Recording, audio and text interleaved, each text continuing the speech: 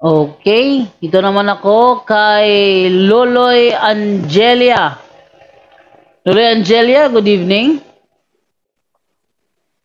Good evening, Brad Jando, o sa, sa lahat ng mga kapuntos, Yes. mga host ngayong gabi. yung yung kanina ba, ah, siguro ah, exaggerated na naman, naman yun kay Bro Tata na baliw na yung makipag-usap ng mga tananim natin. siguro, para sa mga e- ecologists, parang uh, ini-inculcate lang nila ang, ang mindset natin na mahalin natin ang ating kapaligiran, ang ating kalikasan. Kasi uh, hindi naman siguro ibig sabihin na uh, uh, dahil sila ay uh, nandyan sa paligid at madali silang uh, ma, ma, ma, ano, ma-infested. Ang ating atin lang bilang kasi ako ay isang magsasakay. Kinakausap ko din yung ano pag lalo na pag mag-ano ako na ma masasamaran ko yung ano yung maputol ko yung tanim na hindi ko sinasadya sabihin ko ay sayang sorry Ah, siguro ano yan parang ano yan natin sa ah, parang bilang pagmamahal sa ating kapaligiran yan ang ang ibig ah, ibig i- itanim sa isip ng ating mga ecologists. Yun lang ang nasa isip ko, uh, Bro Jando. Ah, hindi naman siguro baliw. Ah, konti lang ah, reaksyon kay Bro Tata Mm. na baliw pag makipag-usap tayo sa pananim. Okay, so anong tanong? A- ano? yun lang, yun lang ang ano ko. Ah, yun lang, walang tanong. Rajando, Yes, bata. yun nga, ang in-explain ko bago ko nagtanong baliw dahil yun explain ko yung sa mga ecologist na ang ito rin nating kapatid din yung mga halaman, yung mga puno dahil po Yes, sila po yes. ay kapatid natin. Kung wala sila, patay pa ang tao, di ba? Pag walang kalikasan, sila po nagbigay Mm. natin ng energy. Yung sa, ah, so yun ang mag-advokasya ng ah, environment. So, pero Yes. mm, yung kausapin lang mo, wala kang intention sa sa'yo, iba naman sa'yo na biglang accidental na ah, putol mo na ano yung halaman. So, nagsorry kayo. Mm. Pero yung siguro ang intention lang, Mm. makig, makig, ano lang po kayo, makig, ano po ka, conversation po kayo sa laman, baka nandun ang elementals, ah, delikado na yon Di ba? Ah. Oh, isa sa Oo, mga experience, Brother Jando, Mm. ay- actually, yung ma, punong banyan o balite, di ba? No. No, noted mo yun, nandyan ang mga fallen angel, elementals.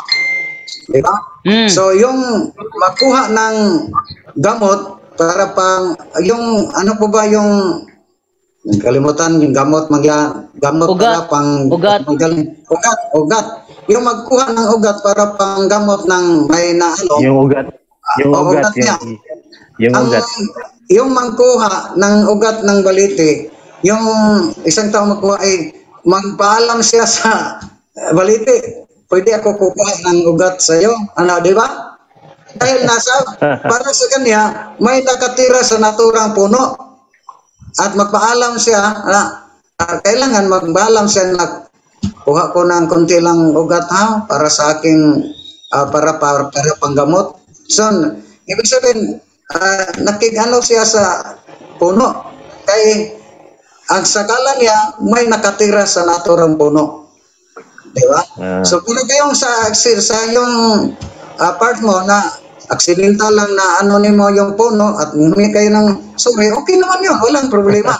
Pero kayo lang, Ah. maki, ano lang sa puno para nang nagpistubis kayo, ka- karap mo yung eh, ba, para niyo, parang tao na, parang tanaw, pagtingin mo sa iba, pagtingin ka sa iba, ano ba yung tao na yun? Nabaliw na yun, nakita natin ano siya sa puno. Di ba? So, ano yun ang aking Ayun lang aking ibig sabihin, brother. Sorry Okay sa baka na open po Ah. kayo. Sorry. Brad Jando, Yes, Brother Angel. yes, i- idadagdag ko lang po, tama, medyo na-excite, medyo na-excite ng si, si, si Brad Tata. It's just, ano lang po yun, sabi nga, sabi ko nga lagi, hindi ko, kailanman hindi ko sinabing yung itong mga pastor o sino man o ecologist o scientist na sinungaling. Siguro, uh, pwede natin sabihin lack of knowledge lang. So, lack of knowledge lang sila. Ngayon, ang danger po kasi yan, Brad, yung sinasabi natin pag kikipag-usap sa halaman, kahit saan mo po tingnan kasi, biblically ah, uh, biblically, canon law, um, kahit, uh, kahit sa mga doktrina, sa disiplina ng church, uh, mayroon na yan, lima na yung 5 Ds of the church. Meron tayong deposit of deposit of faith, meron tayong dogma, meron tayong doctrine, meron tayong devotion, meron tayong discipline. No? Ang dami pong mga batas ng simbahan, pero wala ka pong ma, wala ka pong maririnig na you can talk to the plant. Okay, malinaw po ito. Wala po kayong ma- ma- inuutos na simbahan na kausapin nyo yung halaman.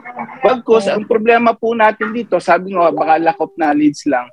Ang, ang, ang sinasabi nga ng mga talagang authority natin, mga pari, mga exorcists, there is danger eh.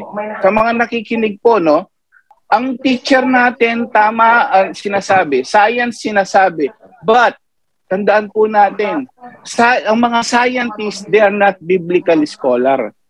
Ang mga science, ang mga teacher, they are not, kahit nga po ang teacher ngayon, di ba, meron po tayong uh, tinatawag na yung sinasabi nila na nanggaling tayo sa unggoy. Tama po ba? So nanggaling daw tayo sa unggoy. Imaginein mo 'yon. So yung mga uh, um, uh, ano ba yung theory no ni ano, yung Father Darwin's theory? Yes. So Yes, Darwinian. So in other words, pag hindi sina, pag sinabi ng ni, ni, ni teacher, ni ecologist, pati nga po yung mga astrologers, sabi nila, "Uy, maniwala kayo, ito yung pamahiin natin sa ito yung sinasabi ng mga ng mga stars, buwan." But they don't have Christ. They don't have Bible. So in other words, pag hindi sa Diyos yan, brother, mga kapatid nakikinig, pag hindi sa Diyos yan, kanino yan? Dalawa lang po ang power dito. Yung yung tandaan po natin, eh, the power of God and the power of the yung kalaban. So alam natin walang turo simbahan from the catechism, theology, and Bible. Walang turo po, wala pong sinabi silang kausapin ng mga ano. At mayroon pong warning yung mga exorcists. Don't talk to the plant. See? Pag sinabi na pong gano'n, eh, out, medyo delikado na po yan. If you need something to God, kung gusto niyo po yung plants niyo o yung mga yung mga uh, yung magsasaka o kung ano man yan, kung ano, may kailangan kayo 1828 1828 ng ano, uh, 1128 ng Mateo, lumapit po daw tayo sa Diyos. Sa Diyos ka magdasal. Mag-Diyos ka lang lumapit, For with God, nothing is impossible. Lucas chapter 1 verse 27. Yun lang po para maiwas lang po tayo sa danger. Delikado po talaga. Wala po kasing utos ang simbahan. Salamat po. Yes, uh, Bro John. Bro John, oh. Sige, uh, ikaw, kayo muna, Brother John Ray. Yes, nagbigay lang ako ng kunting, ano lang, ng kunting um, idea. Actually, sa Bible, ang ating Panginoon Kristo, uh, may time na na kinausap niya ang isang puno. Kapag kibasa nga bro dyan doon sa Matthew 21, 18, 19 bro. Kinaumagahan ng pabalik na sina Jesus sa lungsod ng Jerusalem na gutom siya. May nakita siyang puno ng igo sa tabi ng daan kaya nilapitan niya ito. Pero wala siya nakitang bunga kundi puro mga dahon. Kaya sinabi niya sa puno, hindi ka na mamumunga pang muli at agad na natuyo ang puno. Yan, no? So, kinausap niya yung puno dahil hindi namunga. Pero according po sa sa komentary nito, no, binasa ko yung komentary dito, ito daw po ay tumutukoy sa isang infested na puno, kaya kinas out ng Panginoon. No? So, kaya nga sa mga following verse niyan, sinabihan niya yung mga apostol niya na kaya niyo rin gawin ang, ang mga bagay na ito. Ibig sabihin, kaya rin nilang mag-cast out sa mga punong infested. Yun lang po ang na na na, na, na minsan kinausap ng, ng Panginoon ay isang puno pero, out. Infested. Kaya, oo, yung mga infested na puno na katulad na ginagawa ni Father Darwin, no, nagka-cast out siya ng ng puno na pinamumugaran ng mga masasamang espiritu. Yun lang bro Jando, salamat. Oh. Okay, uh, Brad Brad Jando. Yes, brother Tata. Uh, totoo naman yun, kinas out yun, sinumpa ni Jesus yung taong punong igos, hindi ka eh, nabunga. Ano yun, so kinas out, namatay. Yun, ang mga ecologists, naka-attend naman ko ng seminar ng environmental, yung mag-advocacy ng ecology, ang mga ecologists hindi naniniwala sa mga elementals na yung puno may nakatira na mga elementals katulad ng kapre. Hindi sila naniniwala yon. Pero ah, totoo yung tama itong i-correct natin, i-correct natin na ang mga exorcist press nagbabala na huwag kayong huwag ninyong kausapin yung kahit anong puno o halaman. Dahil pati yung ah, mag, ano tayo mo ano tayo sa isang ilog brother Jendo, 'di ba? Tabi po. Hmm, Di ba? tabi-tabi po. Bawal 'yun. Oh, bawal 'yun dahil parang sumasaludo tayo sa mga elementals, mga fallen angel. Hmm. Pinaka-importante. So, maliban dyan, ang mga ecologists hindi naniniwala sa explanation po ng mga exorcists na ang mga puno ay terrestrial at territorial in nature may nakatira ng mga tinatawag na terrestrial demons. Hindi sila maniniwala yan. Dahil para sa kanila, ang lahat ng puno ay ang Diyos, galing sa Diyos, so walang demonyo. Yun ang explanation nila. Brother Jando. So, opposite sa turo ng mga exorcist. So, bawal na yung makiusap, kiusap sa mga puno. Kayon. Kapatid yung magtabi lang tayo ng ilog, bawal na yung magsabi tayo, tabi po dahil po parang nagsamba na tayo ng demonyo o sumasaludo tayo ng demonyo. Yan lang, Brother Jando, ating ma-share. Maraming salamat. Okay, thank you, Brother Tata. Brother Loloy Angelia, may, fal may follow-up pahabol ka?